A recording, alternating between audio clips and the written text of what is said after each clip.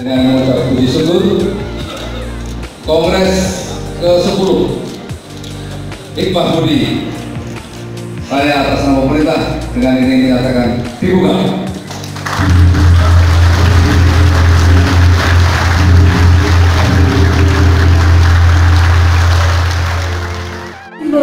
Maka acara kongres